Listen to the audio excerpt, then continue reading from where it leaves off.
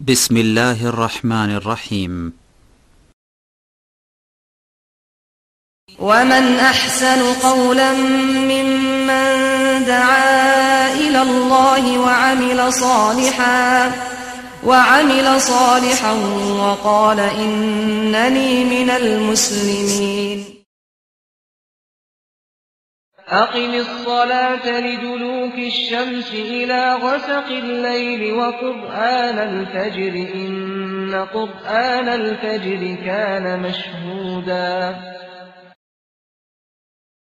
إن الحمد لله نحمده ونستعينه ونستغفره ونعوذ بالله من شرور أنفسنا ومن سيئات أعمالنا. من يهده الله فلا مضل له ومن يضلله فلا هادي له.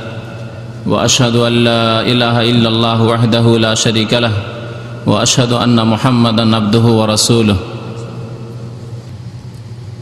أما بعد فإن خير الحديث كتاب الله وخير الهدي هدي محمد صلى الله عليه وسلم وشر الأمور محدثاتها وكل محدثة بدعة وكل بدعة ضلالة وكل ضلالة في النار.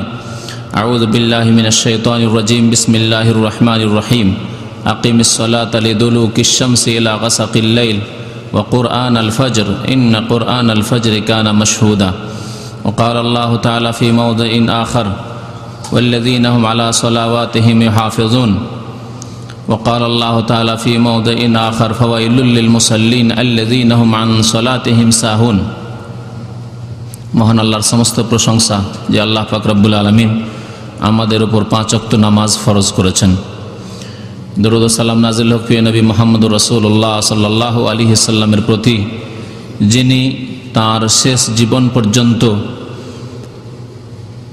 পাঁচ অক্ত নামাজ সুন্দরভাবে আদায় করেছেন এবং তার শেষ পবিত্র বাণীতে নামাজ সম্পর্কে ওম্মতকে তালকিন করেছেন আসলাত আসলাত বলে। নামাজ সম্পর্কে, হে আমার ওম্মত তোমরা খুব সতর্ক থাকবে, সজাগ থাকবে। আল্লাহ সাল্লি আলিহি আল্লাহ বারিক আলিহিম আজকে শুক্রবার জামাদাস্তানের একুশ তারিখ, চোদ্দোশো আঠাইশ হিজড়ি এই শুক্রবারে আমরা যে কিতাব থেকে মাসাইলুল জাহিলিয়া, জাহিলি মতবাদ সম্পর্কে আলোচনা করি তার ব্যতিক্রম আজকে বিষয় ভিত্তিক একটি বিষয় নিয়ে আলোচনা করব। যে বিষয়টি অত্যন্ত গুরুত্বপূর্ণ। মঙ্গলবারের দিন আমরা এশান নামাজের পরে বিষয়ভিত্তিক আলোচনা পেশ করি। এটা হচ্ছে আমাদের সাপ্তাহিক নিয়ম। অনেক ভাইরাই শুক্রবারে আসতে পারেন, মঙ্গলবারে আসতে পারেন না। তাদেরকে এই বিষয়টি সম্পর্কে শোনানোর জন্য এই বিষয়টি আজকে আমি বাছাই করেছি আপনাদের সামনে পেশ করার উদ্দেশ্যে। আর তা হচ্ছে সলাতুল ফজর, ফজরের নামাজ। ফজরের নামাজ এমন একটি গুরুত্বপূর্ণ বিষয়, যে বিষয় সম্পর্কে সাধারণরা শুধু গাফেল নয়, বিশেষ ব্যক্তি, যারা পাঁচক্ত নামাজি হয়তো, তাদের অনেকেই ফজরের নামাজ সম্পর্কে গাফিল। ফজরের নামাজে তাদের গাফিলতি, ফজরের নামাজে তাদের অবহেলা অথবা ফজরের নামাজে তাদের জাগতে, উঠতে অথবা তা জামাত সহকারে কায়েম করতে অলসতা। যার কারণে এই ফজরের নামাজ সম্পর্কে আল্লাহ ফাকরবুল আলমিন এবং তাঁর রসুল সাল্লাহ আলী আসাল্লাম কি বলেছেন? তার গুরুত্ব, তার ফজিলত, তার উপকারিতা এবং সে সম্পর্কে কত যত্নবান হওয়া উচিত? এ সম্পর্কে কিছু কথা আপনাদেরকে শোনাবো ইনশা আল্লাহ তালা আল্লাহ ফাকরাবুল্লাহ হয়তো আমাদেরকে এর দ্বারা উপকৃত করবেন। আল্লাহ যেন আমাদেরকে ভালো কথার প্রতি, আল্লাহ এবং রসুলের কথার প্রতি, সৎ কথার প্রতি, নেক কথার প্রতি আমল করার যেন তৌফিক দান করেন। বলুন আমিন। ফজরের নামাজ, সলাতুল ফজর, এত গুরুত্বপূর্ণ নামাজ যেই নামাজের কথা বিশেষভাবে আল্লাহ ফাকরাবুল্লা আলমিন কোরআনে কারিমে উল্লেখ করেছেন। সুরাই বানী ইসরাইল বা সুরাতুল ইসরার আয়াত নম্বর আঠাত্তরে মহান আল্লাহ ইরশাদ করেছেন, সাধারণভাবে অন্যান্য নামাজ সম্পর্কে ইঙ্গিতে, আকিমিস সলাত আলেদুলুক ইসামসি এলাকা সাকিল্লাইল আল্লাহ পাক বলছেন যে তোমরা নামাজ কায়েম করো, আকিমিস সালাহ, হে নবী আপনি নামাজ কায়েম করুন এবং ওম্মদকে আদেশ দান করুন। নবী করিম সাল্লা সাল্লামের অনুসরণ আমাদের করতে হবে। আকিমিসলাহ নামাজ কায়েম করুন। লিদুলুক ইসামসি এলাকাসাকিল্লাইল সূর্য মাথার ওপর থেকে গড়ে যাওয়ার পর থেকে এলাকাসাকিল্লাইল রাতের অন্ধকার পর্যন্ত। এই আয়াতের অংশটুকুতে আল্লাহ ফাকরবুল আলমিন জোহর, আসর, মাগরেব, এশা, এ নামাজগুলির দিকে ইঙ্গিত করেছেন। নাম ধরে আল্লাহ পাক উল্লেখ করেননি। এই চার অক্ত নামাজের দিকে আল্লাহ ফাকরাবুল আলমী কি করেছেন? ইশারা, ইঙ্গিত করেছেন। স্পষ্ট করে আল্লাহ ফাকরাবুল আলমিন নাম ধরে জহর, আসর, মাগরিব, এশা এভাবে উল্লেখ করেননি আল্লাহ ফাকরাবুল আলমিন। পক্ষান্তরে ফজর সম্পর্কে তারপরে আল্লাহ বলছেন ওয়াকুর আন আল ফজর। এবং ফজরের নামাজ কোরআন আল ফজর মানে কেরাতুল ফজর। কোরআন মানে কেরাত তিলাওয়াত।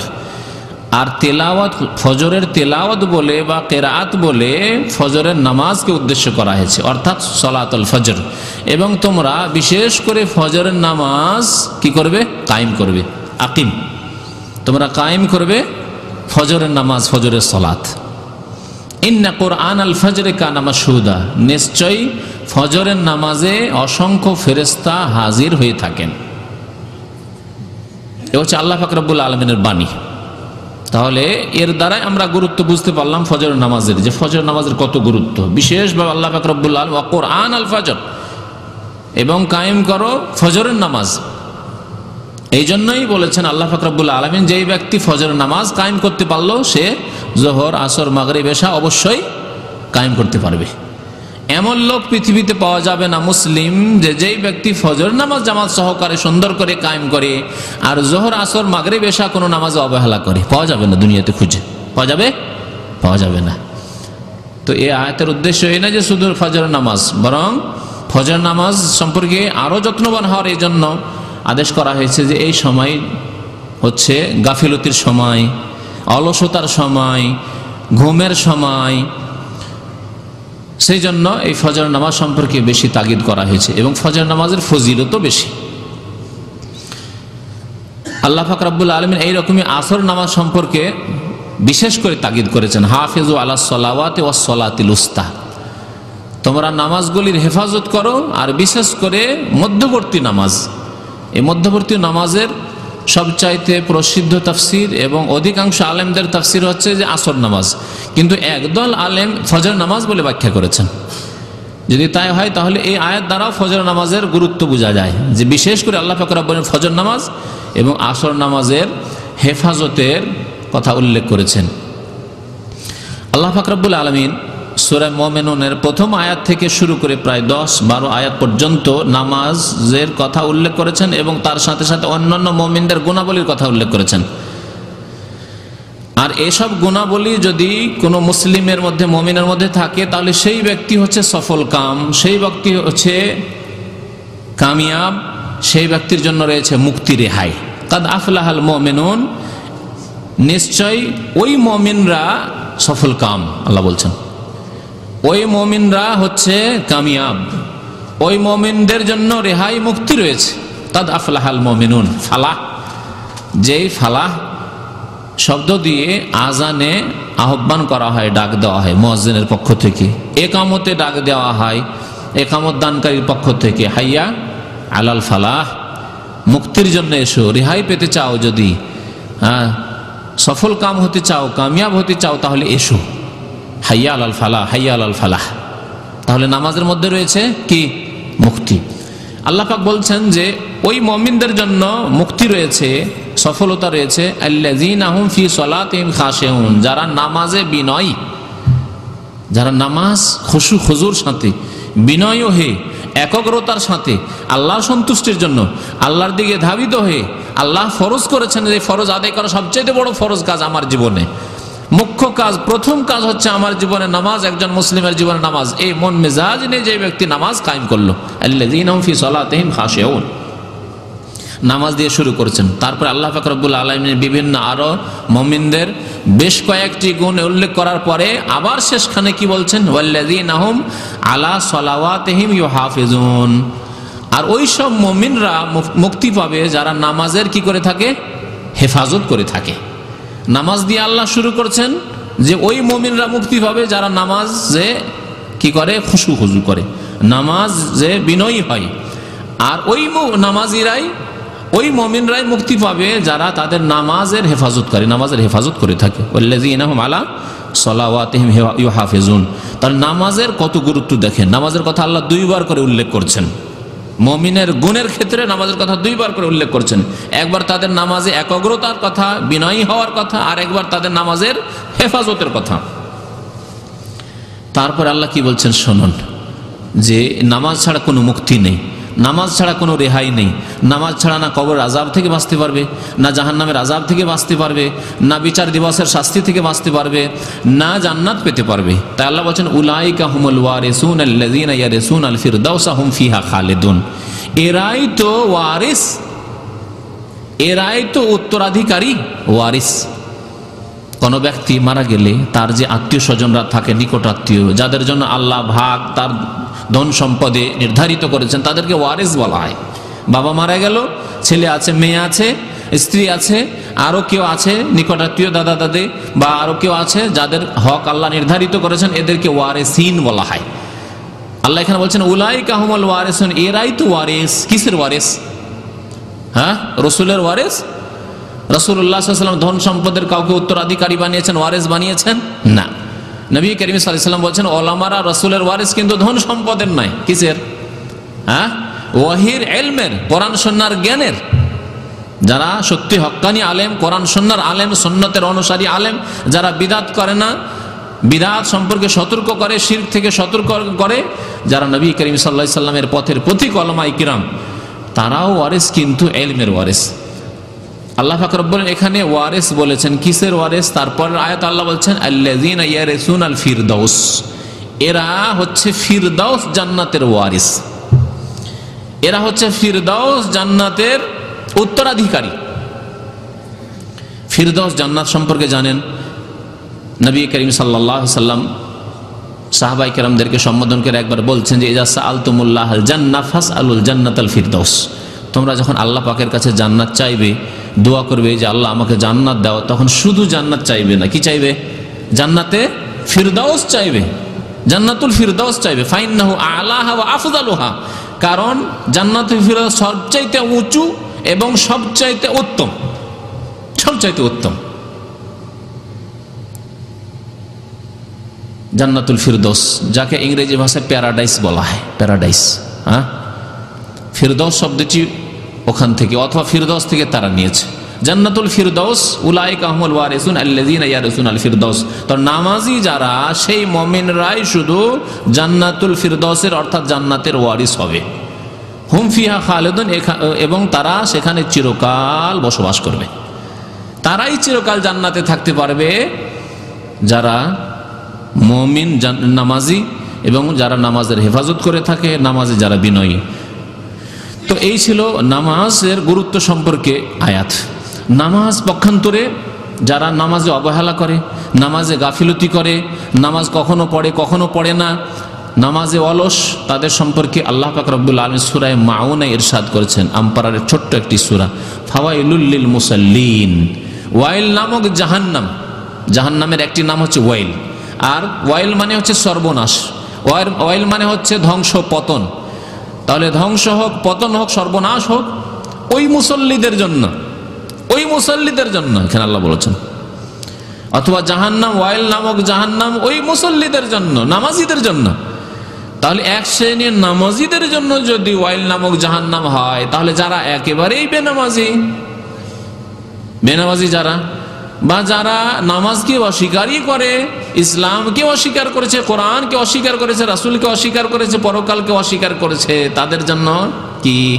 হ্যাঁ তাদের জন্য কোন জাহান নাম আল্লাহ পাক জানে ভালো করে। তাদের অবস্থা কি হবে?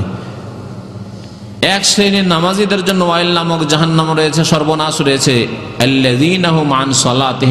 কোন নামাজি যারা নামাজ থেকে কি হয়? গাফেল হয়ে থাকে। নামাজ সম্পর্কে তারা অচেতন, সচেতন নয়। নামাজ পড়ে, কিন্তু খেয়াল খুশি নামাজ পড়ে।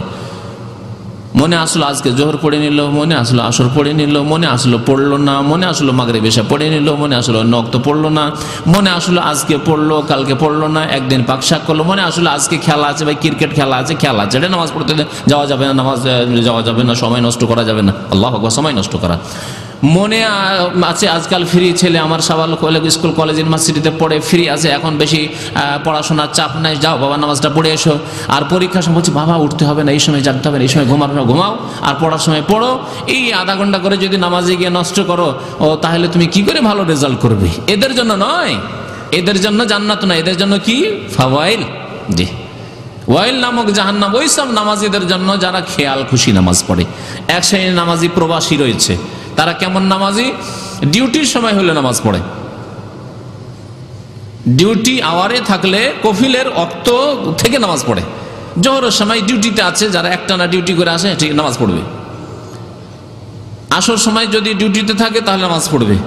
কিন্তু মাগরেবের সময় যদি ডিউটি না থাকে, তো বাসা চলে আসছে, তাহলে দেখছি যে এই সময় নামাজ পড়তে গেলে আধা ঘণ্টা আরও লেট হয়ে যাবে গোসল টোসল করতে লেট হয়ে যাবে। না, তখন গোসল করছে, নামাজ পড়তে যাবে না। শাকটা চড়িয়ে দিই, ভাতটা চড়িয়ে দিই, আর এদিকে গোসলটা করি, ব্যাস, ওই সময় নামাজ পড়বে না, কারণ এটা তার নিজের সময়, কফিলের সময় নাই। মালিকের সময় নাই, ঠিক আছে? এইরকম নামাজে কিছু আছে। এসা সময় যদি তার সময় তাহলে পড়বে না, আর মালিকের সময় হলে পড়বে। ফজর সময় তো নিজেরই সময়, ঘুমাবার সময় ওই সময় নামাজ পড়বে না।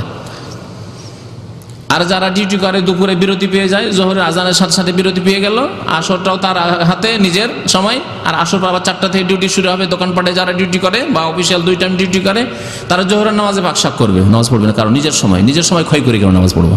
নিজের সময় নষ্ট করে কেন নামাজ পড়ব? আসর সময় না আরাম করবে? খেয়ে দিয়ে দুটোর সময় শুইল, আর চারটার সময় উঠে ডিউটি যাবে। তিনটার সময় নামাজ পড়তে যেতে হয়। কেন যাবে স্যার নামাজ পড়ে না। কিন্তু মাগরে বেশা হ্যাঁ পড়বে। কারণ এই সময় নামাজ পড়লে আরাম। কারখানাতে না হলে তো কাজ চলতে থাকবে, তো আরাম পাওয়া যাবে না। তো মালিকের সময় নিয়ে নামাজ পড়ে, কিন্তু নিজের সময় দিয়ে নামাজ পড়ে না। এইসব নামাজিদের জন্য ওয়াইল নামক জাহান্নাম ফাওয়াইলুল্লিল মুসল্লিন। ওই নামাজিদের জন্য ওয়াইল নামক জাহান্নাম আল্লাযীনাহুম সালাতিহিম সাহুন। যারা নামাজ হতে গাফিল অচেতন, আর আল্লাযীনাহুম ইউরাউন। আর নামাজ যদি পড়ে তো লোক দেখানো পড়ে। মালিক মোতাবা নামাজি মানুষ, তাহলে পড়ে। হ্যাঁ? দেখছে যে, যে- সব কর্মচারীরা নামাজি, তাদের বেতন তাড়াতাড়ি করে বেড়ে যাচ্ছে, বেশি পরিমাণে বাড়ছে, বছরে পঞ্চাশ, একশো টাকা বেড়ে যাচ্ছে, যারা বেনামাজি না ওর বেতন বাড়ে না, হয়তো কম বাড়ছে, তখন নামাজ পড়ে। দুনিয়ার খাতিরে লোক দেখানো, লোককে শোনানো, জানানো বা দুনিয়ার পার্থিব উদ্দেশ্যে নামাজ পড়ে। লোক দেখানো নামাজ, লোক দেখানো নামাজের প্রকরণ অনেক আছে। শ্বশুর বাড়ি গেলে নামাজ পড়ে এক লোকেরা। বাবা নামাজি সেজন্য বাবার সামনে নামাজ পড়ে হ্যাঁ? শ্বশুর এসে বাড়িতে মেহমান এসে মেহমানের সাথে নামাজটা পড়ে নিল। এইরকম নামাজি যতগুলি আছে, এগুলি হচ্ছে ওয়াইল নামক জাহান্নামের ইন্ধন। ওয়াইল নামক জাহান্নামের ইন্ধন। ফাওয়াইলুল মুসাল্লিন আল্লাযীনা মান সালাতিন সাহুন, আল্লাযীনা হুম ইউরাউন। যারা লোক দেখানো নামাজ পড়ে। আল্লাহর সন্তুষ্টির উদ্দেশ্য নয়, আল্লাহ ফরজ করেছে তাই নয়। আর আল্লাহর সামনে প্রথম জবাব দিতে হবে নামাজ সম্পর্কে, কাল কিয়ামতে সেই জন্য নয়। আল্লাহ পাক রব্বুল আলামিন মুনাফিকদের লক্ষণ বলেছেন যে মুনাফিকরা নামাজে অলস। নামাজ কায়েমই নামাজ পড়বে না, পাঁচ ওয়াক্ত নামাজ পড়বে না। ইন্নাল মুনাফিকিনা ইউখাদিউন আল্লাহ। আল্লাহ পাক রব্বুল আলামিন সূরা নেসার আয়াত নম্বর 142 এরশাদ করেছেন, নিশ্চয়ই মুনাফিক যারা তার আল্লাহকে প্রতারিত করে, আল্লাহকে ধোকা দেওয়ার চেষ্টা করে। লোকজনকে বোঝাবার চেষ্টা করে যে আমরা নামাজ পড়ি, কিন্তু আসলে নামাজ পড়ে না। ইন্নাল মুনাফিকিনা ইউখাদিউন আল্লাহ ওয়া হুয়া খাদিহুম আল্লাহ পাক রব্বুল আলামিন তাদের এই প্রতারণা, ধোকাবাজির শাস্তি দেবেন আল্লাহ পাক রব্বুল আলামিন। আল্লাহর কাছে তার শাস্তি রয়েছে, তার জন্য আজাব রয়েছে। ওয়াইদা কামু এলা সালাতে কামু কুসালা আর মোনাফেকদের লক্ষণ হচ্ছে নামাজ যদি পড়ে ও তো অলসতার সাথে পড়ে। নামাজে যদি দাঁড়ায়ও অলসতার সাথে, তাড়াতাড়ি নামাজ পড়ে কোন রকম ঠিকাসারা নামাজ পড়ে, ঠিকাসারা বুঝেন না বুঝেন না? কোন রকম চার রাখাত ফরজ তো চার রাখাত টেনে দিতে হবে।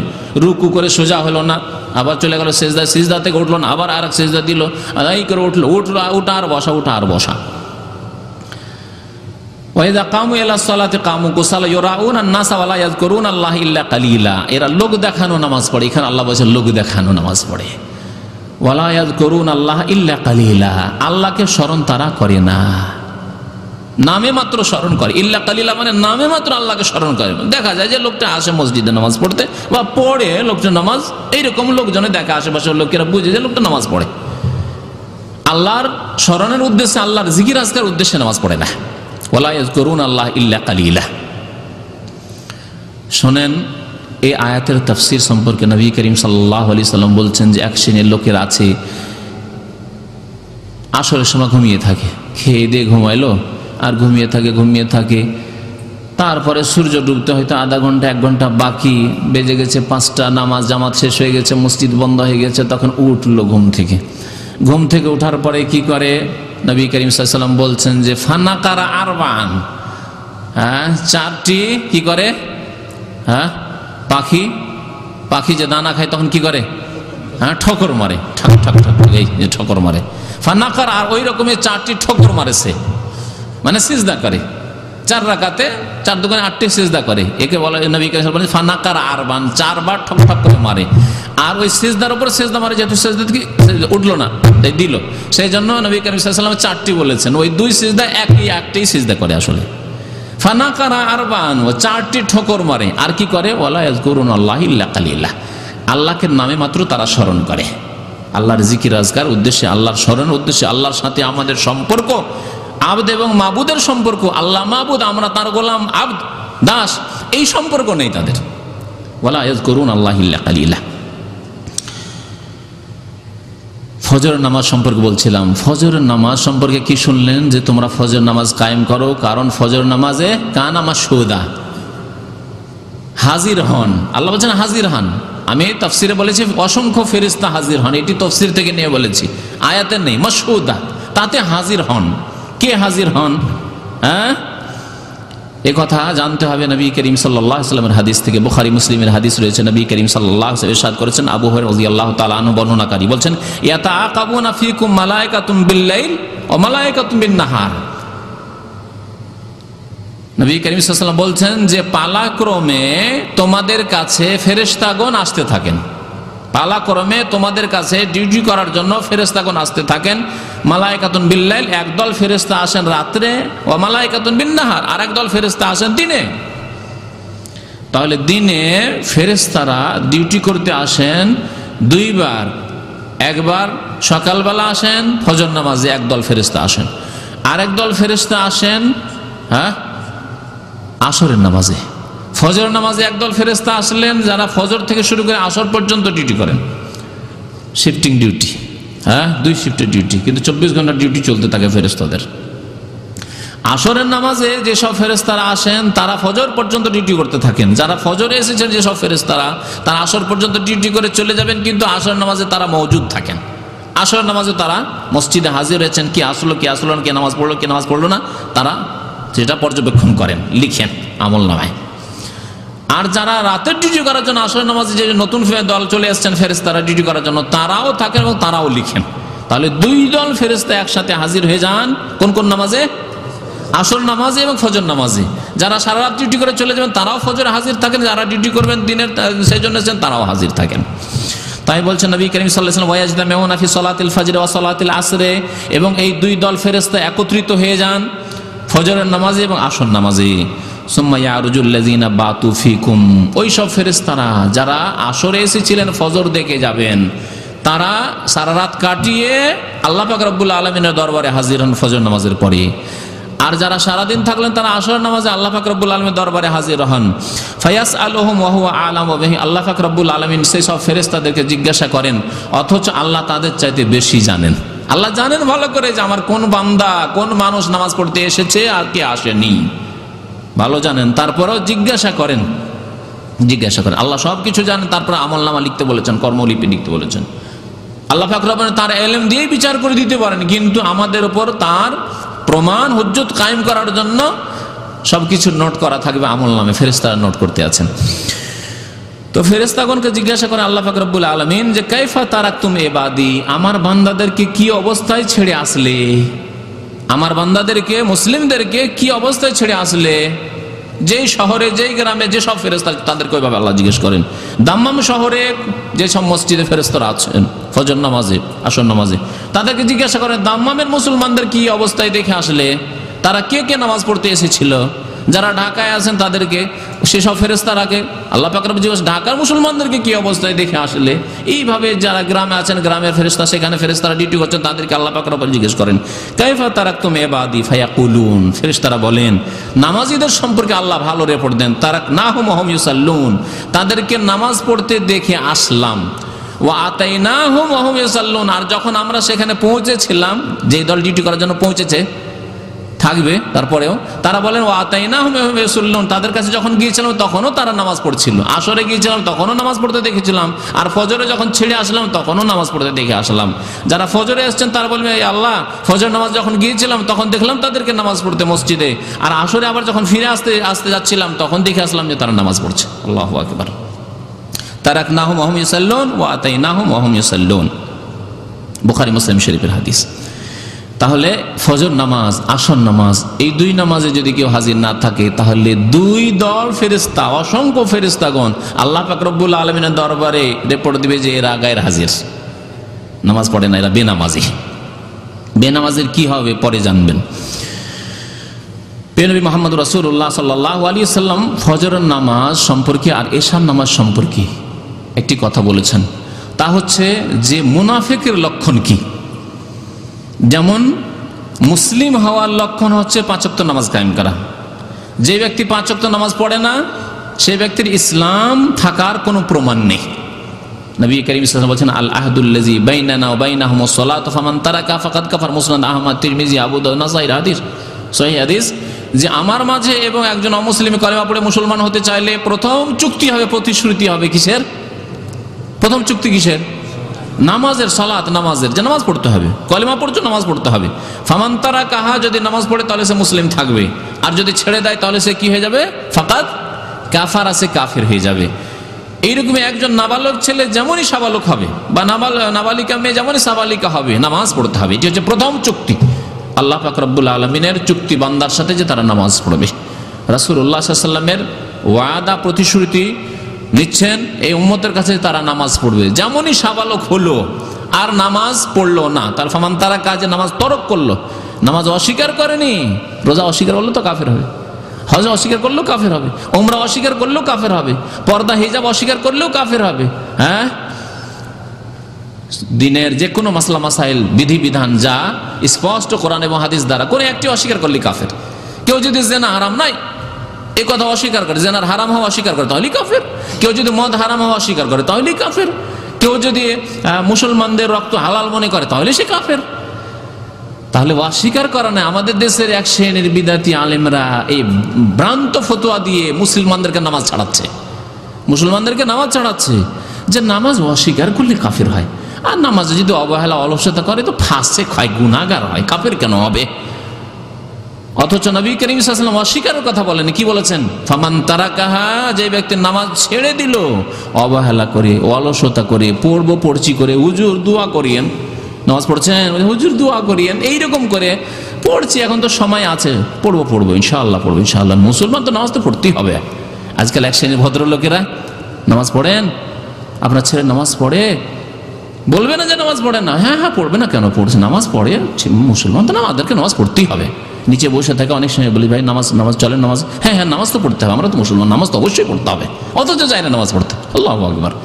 তাদের সম্পর্কে কি বলছেন নবী করিম ফামান তারা কাহা যারা এইভাবে অবহেলা আর অলসতা করে নামাজ ছাড়লো, গাফিলুতি করে পড়ব পড়ছি করে ফাকাদ কাফার আছে কাফের হয়ে গেল। এটি কারও ফতুয়া না? কারণ আমাদের দেশে আবার পত্রপত্রিকা লিখে যে আলেমদের ফতুয়ার ওপর খুব জাল পত্র পত্রিকাগুলির নাস্তিক পত্র পত্রিকাগুলির আলেমদের ফতুয়া না এটি। নবী করিম সাল্লা সাল্লামের ইসলাম লাগানো রয়েছে, ফাকাদ কাফারা। যে ব্যক্তি নামাজ না পড়ল, সে কাফের হয়ে গেল। বাইনাল আবদে ও বাইনাল কুফুরি অশিরকে তার কুসলাত বান্দা এবং কাফের মাঝে, আল্লাহর বান্দা এবং কাফের মুশরেকের মাঝে পার্থক্যকারী হচ্ছে নামাজ। আল্লাহর বান্দা কে? যে ব্যক্তি নামাজ পড়ল। আল্লাহর বান্দা কে নয়? কাফের মুশরেক কে? কাফের মুশরেকের অন্তর্ভুক্ত কে? যে নামাজ পড়ল না। তাহলে পাঁচ অক্ত নামাজ হচ্ছে মুসলিম এবং কাফের মাঝে পার্থক্যকারী। কাফের লক্ষণ নামাজ না পড়া আর মুসলিমের লক্ষণ হচ্ছে পাঁচ অক্ত নামাজ কায়েম করা। এইরকমই ফজরের নামাজ পড়া আর না পড়া। ফজর নামাজ কায়েম করা হচ্ছে খাঁটি মমিনের লক্ষণ। আর ফজর নামাজ যারা কায়েম করে না, সুন্দর করে জামাত সহকারী পড়ে না মসজিদে সে সেটি হচ্ছে মুনাফেকের লক্ষণ। সেটি হচ্ছে কার লক্ষণ? মোনাফিকের লক্ষণ। এখন আপনি নিজের বিবেক বিবেচনা দিয়ে নিজের হিসাব নিজেই করুন। যে আপনি যদি মমিন হন, তাহলে ফজর নামাজ পড়বেন। আর যদি ফজর নামাজে আপনার গাফিলতি থাকে যে মাসে ত্রিশ দিনে আপনি পনেরো দিন, বিশ দিনই জাগতে পারছেন না আপনি তার এটি মুনাফিকের লক্ষণ। সপ্তাহে সাত দিনের মধ্যে আপনি পাঁচ দিন, চার দিন, পাঁচ দিনই জাগতে পারছেন না। কখনো কেউ জাগিয়ে দিল, তো জাগলেন নাহলে জাগলেন না। অথচ আপনার কোনোদিন দেশে যাওয়ার ক্ষেত্রে ফ্লাইট মিস হয়নি। ডিউটি সেকেন্ড ইন্ডাস্ট্রিয়াল সিটি যাচ্ছেন, কত দূরে দূরে ডিউটি যাচ্ছেন, কোনোদিন বাস ছোটে না। আরাম করতে ডিউটি কোথায়? আওজাম থেকে সাফা থেকে আরাম করে ডিউটি করার জন্য কোনোদিন বাস ছুটে না। হ্যাঁ? গাড়ি ছুটে যায় না কোম্পানি কারণ গাড়ি ছুটলেই তিরিশ রিয়াল, চল্লিশ রিয়াল দিতে হবে, তারপর যেতে হবে। পঁচিশ তিরিশটা রিয়ালের জন্য কোনোদিন গাড়ি ছুটে না আপনার। ডিউটিতে আধা ঘণ্টা কোনোদিন লেট হয় না।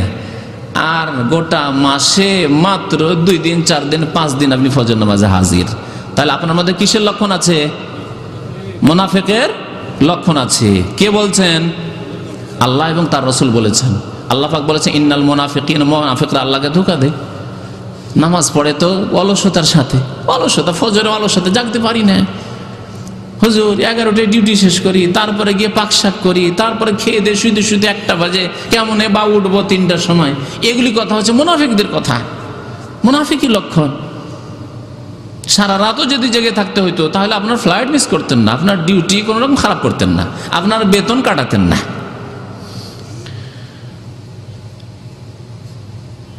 নবী করিম সাল্লাহ আলি সাল্লামের হাদিসে রয়েছে, আয়াতের দিকে ইঙ্গিত করলাম, কারণ আয়াতের আগে করে দিয়েছে, মোনাফিকদের সম্পর্কে আল্লাহ বলছেন, অলসতার সাথে তারা নামাজ পড়ে, গাফিলতি তাদের নামাজে।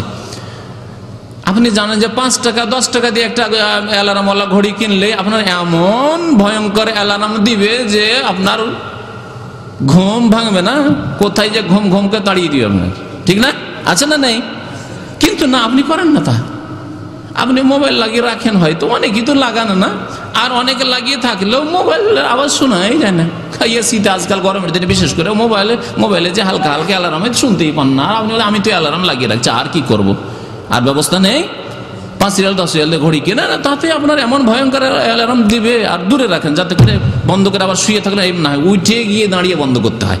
এগুলি ব্যবস্থা করা, আর আপনার যদি সত্যি যদি অন্তরে থাকতো ফজরের নামাজ, তাহলে অবশ্যই করতেন ব্যবস্থা আপনি। এগুলো খুব বুঝেন আপনি। দুনিয়ার সংসারের ক্ষেত্রে আপনার টাকা পয়সা, ধন দৌলত হাসিল করার ক্ষেত্রে এগুলো বুদ্ধি খুব আছে। কিন্তু নামাজের ক্ষেত্রে কেন এগুলো বুদ্ধি হয় না? বুদ্ধি হয়েও করেন না আপনি। নবী করিম সাল্লাম কি বলেছেন? মুনাফিকের লক্ষণ হচ্ছে ফজর নামাজে হাজির না হওয়া। নবী করিম সাল্লাম বলছেন আবু রাজি আল্লাহ হাদিস। বলছেন যে, লাইসা সলাতুন আসকালু আলাল মুনাফিকিনা মিন সলাতিল এশায় ওয়া সলাতিল ফজর। এশান নামাজ আর ফজর নামাজ চাইতে ভারী নামাজ, কষ্টকর নামাজ মোনাফেকের ওপর আর কোনো নামাজ নেই পৃথিবীতে। ঈদের নামাজও ভারী নয়, মোনাফিকের জন্য পড়ে, ওরা পড়ে। মোনাফিকরা ঈদের নামাজ পড়ে, ঈদ পড়া মুসলমান। জুমার নামাজ ভারী না, যতই রৌদ্র হোক, বৈশাখ মাস জ্যৈষ্ঠ মাসের খরা হোক, জুমার নামাজ রৌদ্রও যাবে।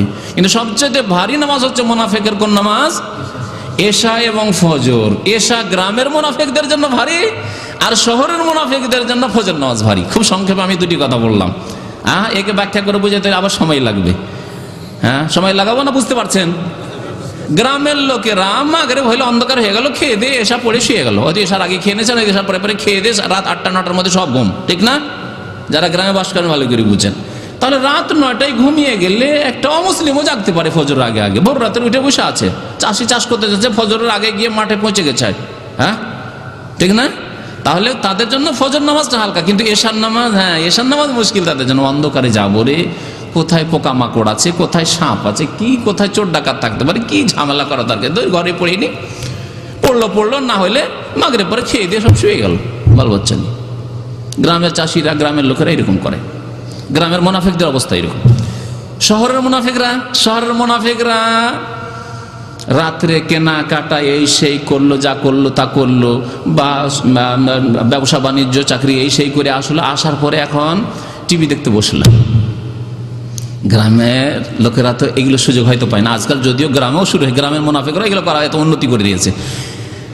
টিভি দেখতে শুরু করলে, এই টিভি দেখতে দেখতে, ফিল্ম দেখতে দেখতে রাত বারোটা, একটা, দুটো বাজলো, স্বামী, স্ত্রী, ছেলে, মেয়ে, নিয়ে সব করে খেয়ে দিয়ে তারা দুটো, একটা সময় শুইছে। তাইলে আর ফজরে উঠবে কি করে? এ মোনাফেকদের জন্য সবচাইতে ভারী নামাজ এখন কি? ফজরের নামাজ। এই জন্য শহরের মোনাফেকদের জন্য সবচাইতে কষ্টকর নামাজ হচ্ছে ফজরের নামাজ।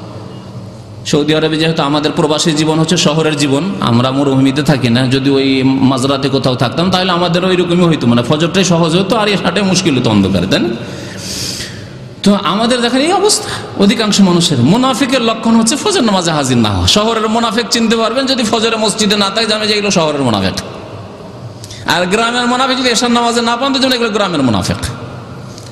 আপনি কেমন মোনাফেক চিন্তা করেন না মুমিন আপনি? এখন নিজেই বিচার করেন আল্লাহ পাক বলছেন যে, ইন্নাল মুনাফিকিন ফিদ্দারকিল আসফালে মিনান্নার মুনাফিক যারা হবে, তারা জাহান্নামের নিম্ন স্তরে বসবাস করবে। আপনি কোথায় বসবাস করতে চান? আর মমিন যারা নামাজের হেফাজত করে, তাদের জন্য ফিরদোস। স্পষ্ট। আমাদের কাজকর্ম স্পষ্ট, আমাদের আকিদা আমল স্পষ্ট, আর আমাদের অবস্থান, স্থানও স্পষ্ট। জান্নাত স্পষ্ট, জাহান্নাম স্পষ্ট। কোন কাজগুলি করলে, কোন আচরণ করলে জাহান্নামে যাবে? আর কোন কাজগুলি, কোন আমলগুলি করলে জান্নাতে যাবে? নবী করিম সাল্লাহ সাল্লাম বলছেন যে, সবচাইতে ভারী নামাজ, লাইসা সালাতুন আসকাল আল মুনাফিকিন আমিন আল ফজর ওয়াল ইশা ফজর এশার চাইতে ভারী নামাজ আর মুনাফিকের জন্য কোনো নামাজ নেই। ওয়ালাউ ইয়ালামুন মা হেমা তারা যদি জানতো যে ফজর আর এশার নামাজে কি ফজিলত গুণাগুণ আছে। লা আতাউ হোমা ওয়ালাউ হাবুয়ান তাহলে পাছা ঘষ্টাইয়ে যদি আসতে হইতো, পাছার ভরেও যদি তাদেরকে আসতে হইতো তবু আসতো। কেউ কেউ এই তাফসির করেছেন। আর কেউ বলেছেন হাবুয়ান মানে হামাগুড়ি দিয়ে। বাচ্চারা যে ছয় মাস, আট মাসের বাচ্চা হামাগুড়ি দিয়ে হাঁটে না দাঁড়াতে পারে না হামাগুড়ি দিয়ে। দৌড় দেয়, এখান থেকে ওখানে দৌড়িয়ে বেড়ায়। তো হামাগুড়ি দিয়ে যদি হতো পাওয়াক্ষম চলতে পারে না। ওই হামাগুড়ি দিয়ে দাঁড়াতে পারে না, হামাগুড়ি দিয়ে মসজিদ আসে। তবুও আসতো তাহলে। লাউ আতাউ হুমা ওয়ালাউ হাবুয়ান তারপরে নবী করিম সাল বলছেন যে যারা ফজর নামাজ আসে না, ঈশার নামাজ আসে না লাকাত হামাম তো আমার ইচ্ছা হচ্ছে আমর আল মুয়াজ্জিন ফায়ুকিম। মুয়াজ্জিনকে আমি আজান দিতে বলব আর একামত দিতে বলব আর একজনকে বলব, তুমি নামাজটা পড়িয়ে দাও। কোন এক সাহাবীকে বলব যে, নামাজটা তুমি পড়িয়ে দাও। নবী করিম সাল্লাল্লাহু স্বয়ং বলছেন, সুম্মা আমর আর রজলান ইয়াউম্মান নাস। একজন লোককে বলে যে, তুমি এমামতি করো। সুম্মা আখুযু শুআলাম মিন নারিন। আর আমি আগুন নিয়ে ওই সব বাড়িতে যাব। ফাওহার রেখো আলা মাল্লা ইয়াখরুজু ইলা সালাতি বাদো। যারা নামাজের একামত হয়ে যাওয়া সত্ত্বেও আজান হয়ে যাওয়া সত্ত্বেও মসজিদে আসে নামাজ পড়তে। ঘরেই নামাজ পড়ে অথবা নামাজই পড়ে না। তাহলে ঘরে নামাজ পড়াও যে কত বড় অপরাধ, চিন্তা করেন জামাতে নামাজ পড়া ফরজ। জামাতে নামাজ পড়া ওয়াজিব। জামাত ছেড়ে ঘরে নামাজ পড়বেন যে যাক এসার নামাজ অন্ধকারের কোথায় যাব?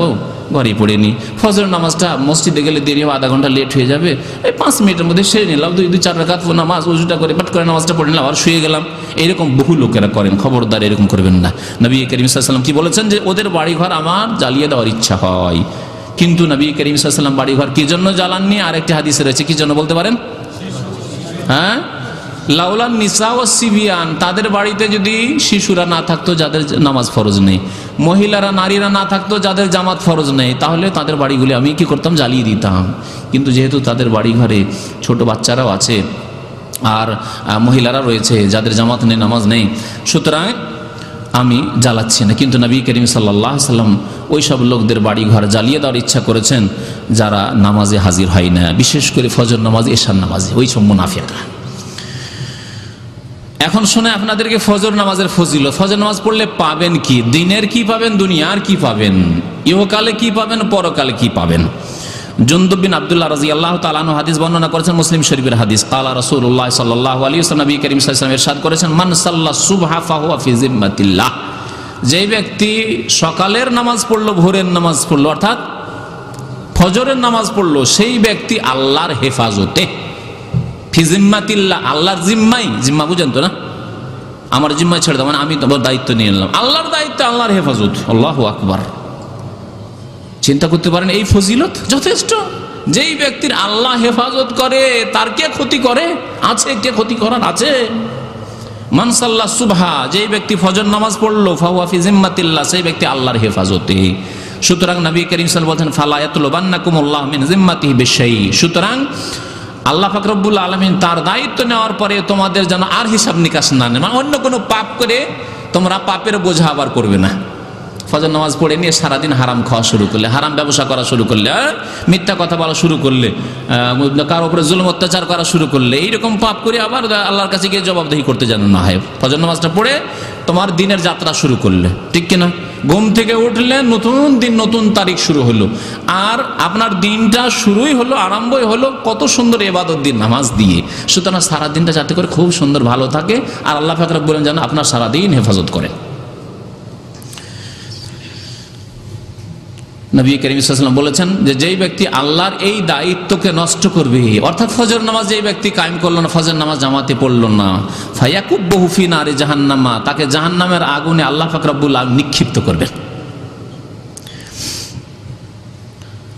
আর একটি ফজিলত শোনাই ফজরের নামাজের। নবী করিম সাল্লাম বলেছেন এই ফজিলত একবার উসমান বিন আফান রাজি আল্লাহ তালা মসজিদে মাগরেবের পরে ঢুকলেন আর একাই বসে গেলেন। ফাঁকা আদ তো এলেহি বলছেন, আরেকজন সাহাবি যে আমিও বসে গেলাম। ফাঁকালে আইবিন আখি সামিয়ত রাসুল আল্লাহ সাল্লাহ সাল্লাম ইয়াকুল, মান সাল্লাহ এই শাহি জামাতের একটি হাদিস শুনেতে লাগলেন। ওসমান রাজি আল্লাহ তালানো ওই লোকটিকে হাদিস শুনেলেন এই হাদিস নবী করিম সাল্লাহ সাল্লাম থেকে বর্ণ- বর্ণনা করে, মান সাল্লাল এশা ফি জামাতিন ফাঁকা আন্নামা কামা নিসফাল্লাইল এশান নামাজ কাদের জন্য ভারী বললাম একটু আগে? মোনাফেকদের জন্য, গ্রামের মোনাফেকদের জন্য, তাই না? অন্ধকারের মুনাফিকদের জন্য। যারা এশান নামাজ জামাত সহকারে মসজিদে গিয়ে পড়ল ফাঁকা আন্নামা কামা নিসফাল্লাইল সে যেন অর্ধেক রাত তাহাজ্জুদের এবাদত বন্দি করল, তাহাজ্জুদের নামাজ পড়ল। আল্লাহ আকবর।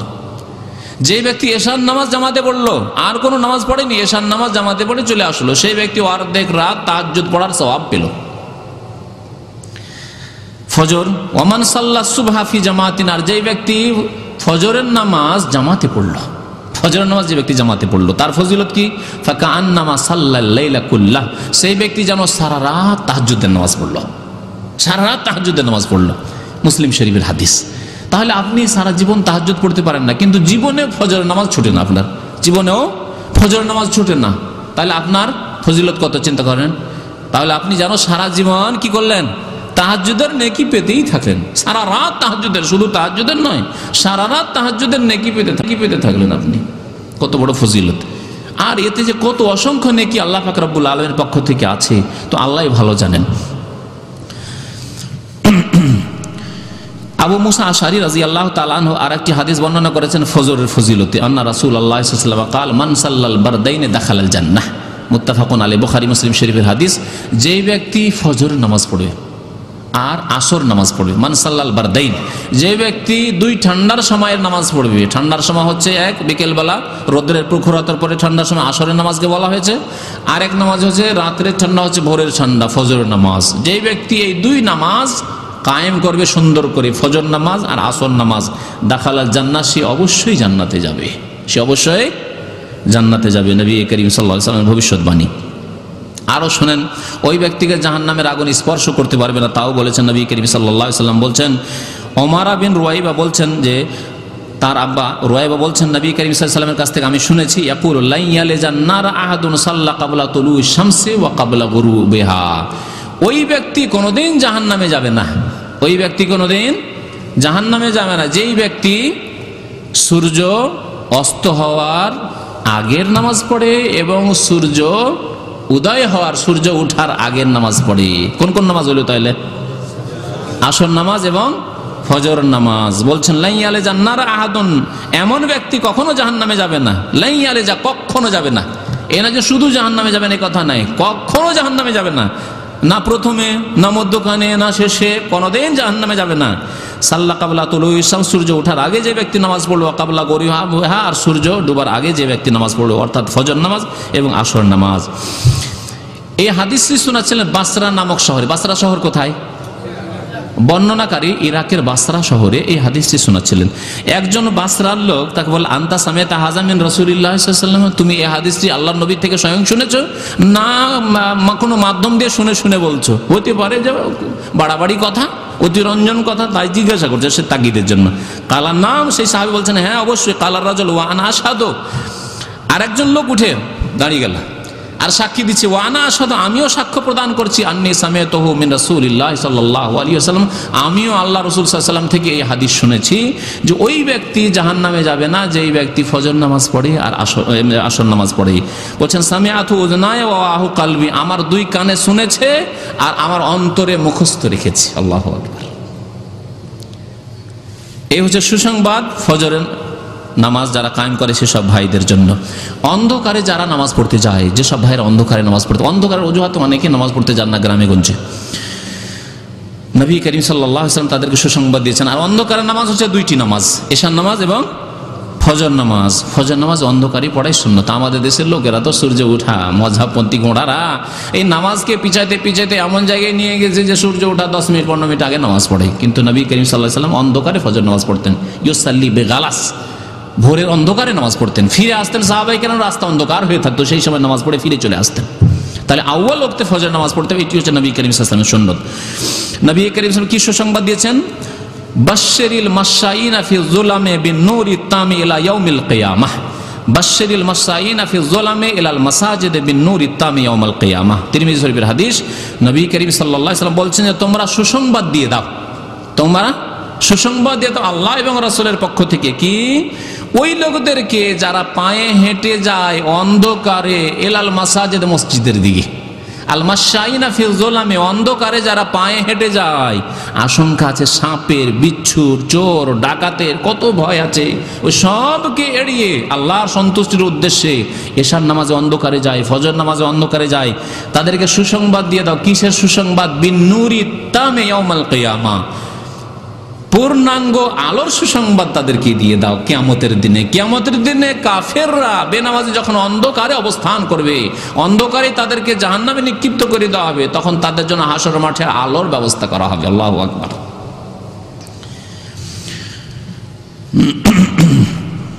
ফজরের নামাজ সম্পর্কে আরও কিছু বিধিবিধান রয়েছে।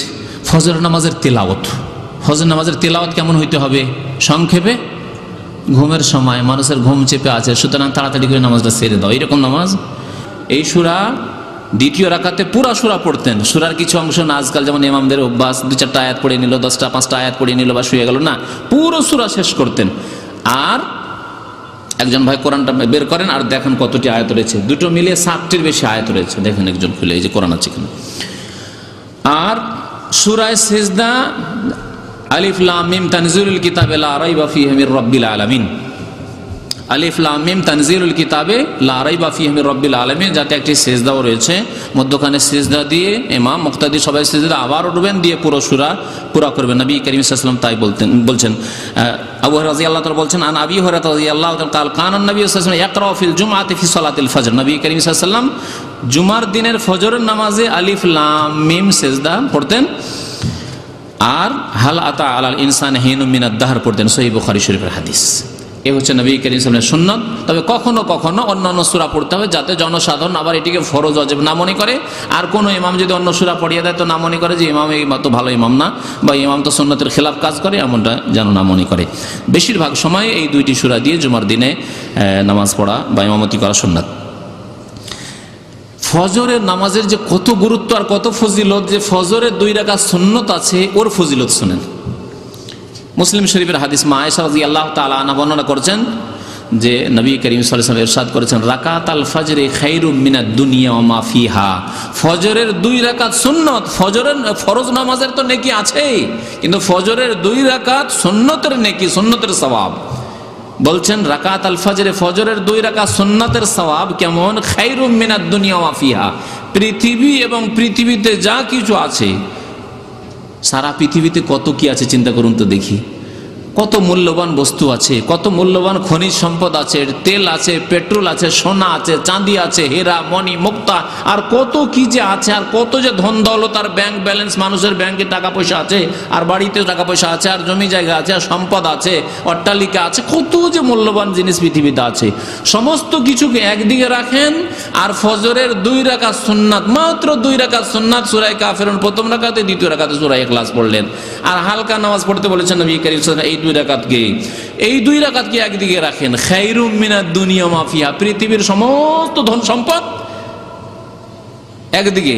আর এই দুই রাকাত নামাজ তার চাইতে উত্তম। খাইরুম মিনাদ দুনিয়া মাফিয়া মাত্র দুই রাকাত নামাজ সুন্নত নামাজ ফজরের। তাহলে ফজরের ফরজ নামাজ কত ফজিলত রাখে?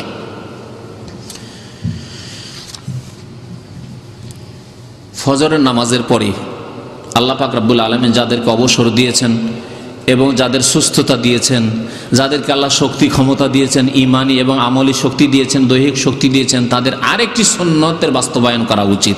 তা হচ্ছে ফজরের নামাজের পরে আপনি আপনার যায় নামাজে মসজিদে মোসাল্লায় যেখানে নামাজ পড়লেন সেখানে বসে যান আর আল্লাহর জিকির আজকার করতে থাকেন। একে একে আল্লাহর জিকির আজকার করতে থাকেন। এই করতে করতে সূর্য উঠে যাক।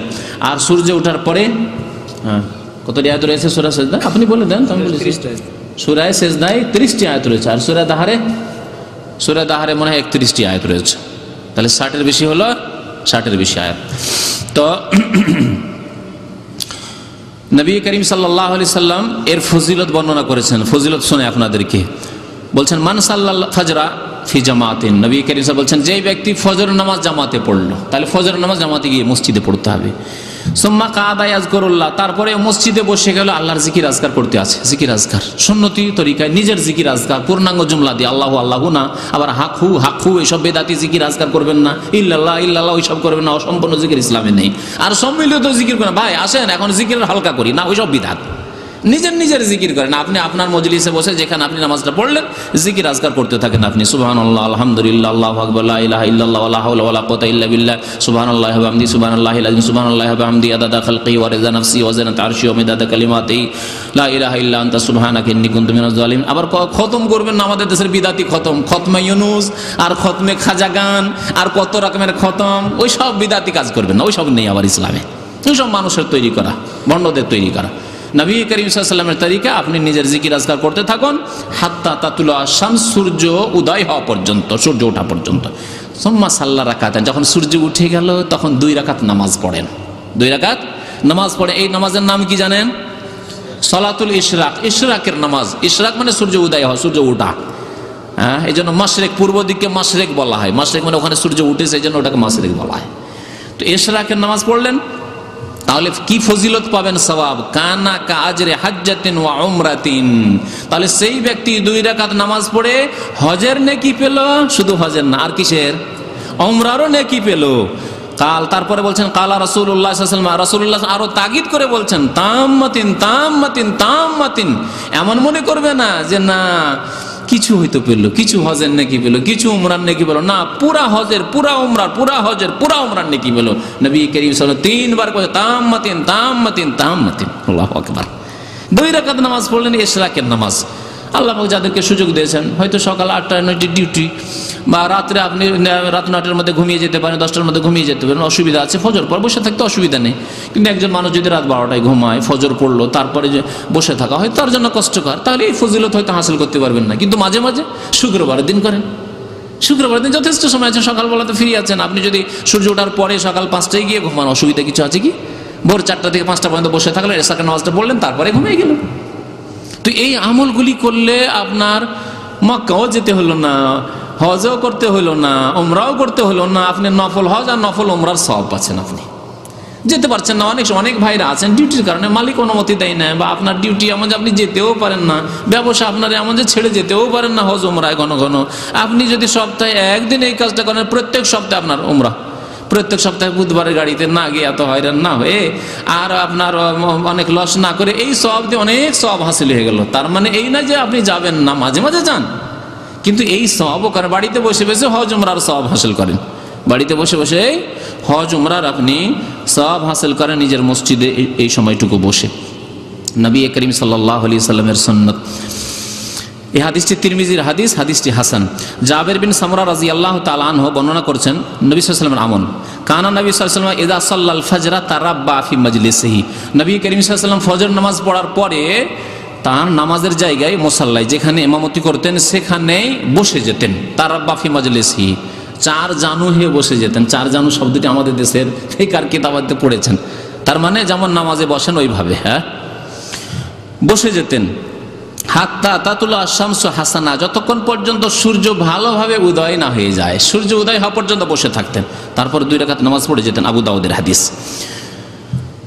আসরের নামাজের গুরুত্ব সম্পর্কে দু একটি হাদিস শোনায় নবী করিম সাল্লাহ আলী সাল্লাম থেকে বোরাইদা রাজি আল্লাহ তালাহ বর্ণনা করছেন, কালা রসুল্লাহ সাল্লাহ আলী সাল্লাম আল্লাহ রসুল বলেছেন, মান তারাকা সাল্লাহ আসরে ফাকাদ হাবে তামালুহু কেউ যদি আসরের নামাজ ছেড়ে দেয় হাটে গিয়েছে, কুরবানির গরু কিনতে। আমাদের দেশে আমি ছোটকাল থেকে দেখে এসেছি। কুরবানির গরু কিনতে গিয়ে অধিকাংশ কুরবানি করেনেওয়ালা লোকের আসরের নামাজই পড়ে না।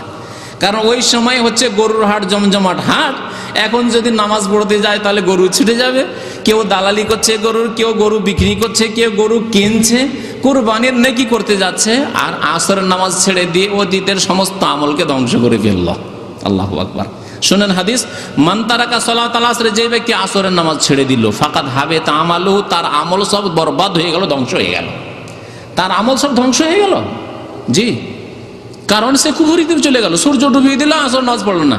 বহু লোককে দেখেছে হাটে বাজার হাট বাজার করে মাগরে পরে এসা পর, বাড়ি আসার পরে দেখছি নামাজ পড়ছে চার রাকাত।